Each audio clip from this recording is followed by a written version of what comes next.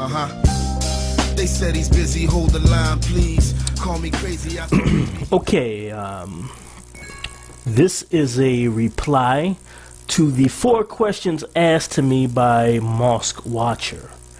Okay, the first question is even if Israel conceded all the land of the this being disputed between them and the Palestinians, would Arab Muslims like them any better? Well, the answer to that question is a definitive no. First of all, it's not only would the Arab Muslims dislike them, all the Muslims would dislike them because this is the Orthodox Islamic view about the Jews. The Jews are kuffar, just like Christians, just like Buddhists, just like atheists, just like everyone else on the planet Earth who is not a, a Muslim, they are kafirs. But there's a special enmity and hatred for Jews and Christians above all the rest of the because it says in the Quran about these pigs and monkeys from the filthy Jews. It says, Verily you will find them, the Jews, the greediest of mankind for life, and even greedier than those who ascribe partners to Allah. Do not believe in resurrection. Every one of them wishes that he could be given a life of a thousand years, but the grant of such life will not save him even a little from the punishment. And Allah is all seer of what they do. So um, it's clear the Jews are cursed. If the Jews bow down, if the Jews give up all the land, they will still be Jews. See, this is the real problem that they are Jews, they are kuffar. They are the enemies of Allah. They are the ones who Allah transformed into pigs and monkeys when they disobeyed Prophet Musa alayhi salam. So, let's move on to the next question. Can Muslims have have Jewish and Christians as their friends? Well, let's see what the Quran and the Sunnah says about this. Now, I'm going to tell you from my um, personal experience is no. A Muslim cannot take a Jew or a Christian or any kafir as a friend. We are only friends with the believers, not with the kuffar. We do not make allegiance with the kuffar. This is the doctrine of al-wala wal-bara. Enmity and allegiance and enmity. Allegiance for the believers, for the people of Tawheed, and enmity for the people of Shirk, the Mushrikeen, the Kuffar. So let's see what the uh, what the uh, Quran says about this subject. O you who believe, take not as your advisors, consultants, protectors, helpers, and friends those outside of your religion, pagans, Jews, Christians, hypocrites, since they will not fail to do the best to corrupt you. They desire to harm you severely. This is from Ali Imran, chapter 3, verse 118. And the previous quote, I didn't give the chapter and verse for that. The one about the Jews being greedy, that is from um, Al Baqarah, chapter 2, verse 96. So, as you see, no, you commanded specifically in the Quran not to take the kuffar, that includes the Christians and Jews, as your friends. They are not your friends. Question number three Jihad, does it mean inner struggle or something else? Well, you'll see a lot of Islamic apologists, a lot of the Sufis, like uh, Hamza Yusuf, or sometimes he's called Hamza Useless. They are apologists for Islam and they say no jihad, it's just inner struggle. It's the inner struggle you have against your nafs, against the lower self, the sinful self. In part, this is true.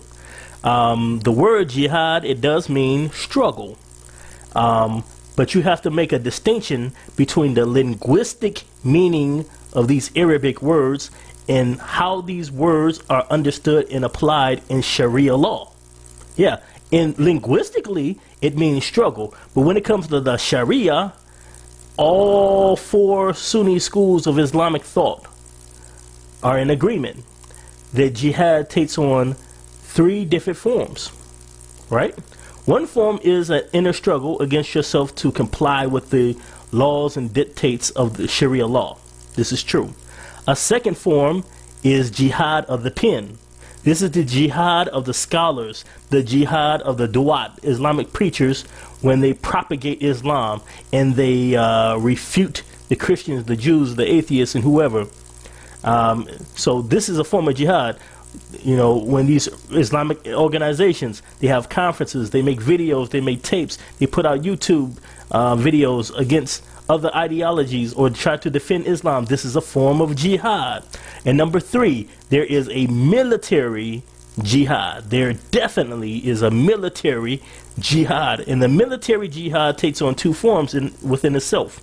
One is a jihad of self-defense. This means if the kuffar, the non-Muslims, enter the Islamic land, Dar you Iman, Dar, Dar ul-Islam, the Islamic land, it's incumbent on all the inhabitants of that land to repel them and to fight them. And if they're not able to repel and fight them, then, then the lands closest to them that have, have Muslims, it's incumbent upon them to come and join the battle against the kuffar. And so on and so on and so on until the whole entire world of Muslims have to respond and come and fight on behalf of the Muslims to expel the kuffar from the lands of belief. That's one form of military jihad. The second form of military jihad is a offensive jihad against the kuffar to fight them to make Allah's name uppermost on the earth, to make the Quran uppermost, um, uppermost on the earth, to establish the Sharia as the law of the land, to make Islam the uh, number one ideology in religion. Now there is rumblings in the Islamic world, in the uh, in the world of Islamic scholarship about how do you apply this. Now there are some who say, you, in order to do offensive jihad, you must have a khalifa, meaning you must have a head of the Islamic State. You must have the sultan, the leader of the Islamic State, in place, and only he can call for this offensive jihad. So when you hear uh, the a lot of Muslims and a lot of Muslim organizations say we're not going to fight jihad, we don't want to fight jihad, this is what they mean. They mean we don't have a khalifa yet, so we can't fight jihad against you because we don't have a khalifa yet. But when the day comes, we do have a khalifa. Then the khalifa can call for jihad, and we can smite your neck, cut off your hands, cut off your fingertips, like the Quran says to do to the kuffar. Now, there's another group of Muslims who say, no, no, no, there's no condition that there has to be a, a Khalifa. That's not a condition.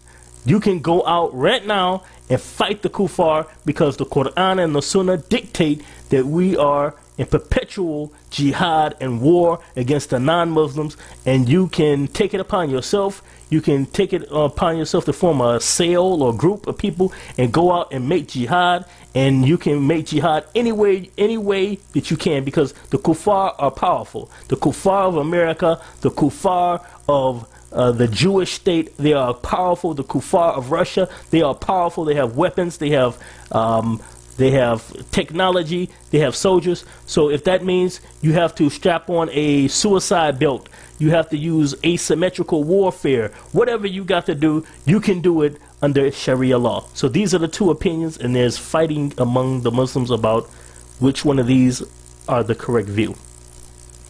So that's enough for that question. We're moving on to the next question. What are the three options for non Muslims under Sharia law? One, convert. Two, submit and pay jizya. Or three, the death penalty.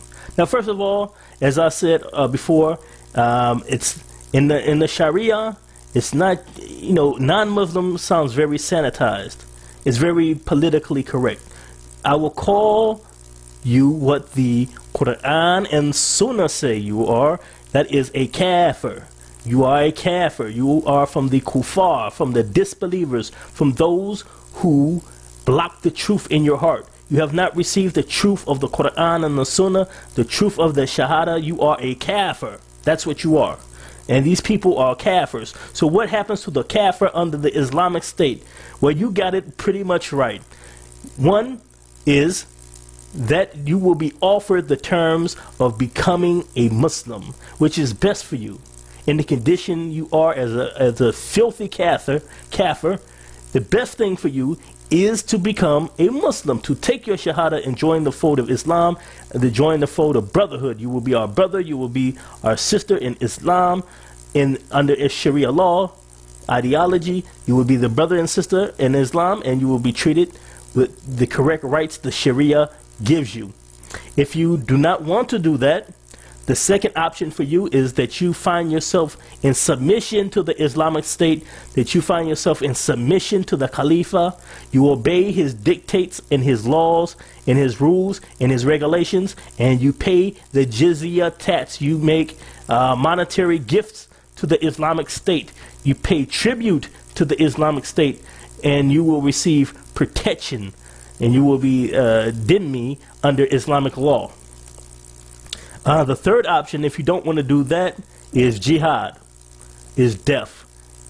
You will be fought against, and uh, you can put up a defense if you want, but in the end, you will have your neck cut, you will be crucified, you will have your hands and your feet cut off from opposite ends, you will be put to death and put out of your filthy misery. So there you have it. The four questions answered from the Quran and Sunnah. This is Islamic law. This is what Islam teaches. Whether someone wants to uh, acknowledge that or not, if they want to cover it up or not, they want to dress it up or not, if Hamza Yusuf wants to make it seem really not that way, don't believe him. All you have to do is consult any books of fiqh from the four schools of Islamic thought, from Sunni Islamic thought, you can just pick up the Quran. You can pick up Sahih Bukhari, Sahih Muslim, uh, Ibn, uh, you know, uh, Ibn Dawood, uh, Ch- uh, Ch- Chimadi, any of these books, and you can see for yourself. So I hope I answered those questions for you. So good day, and take care.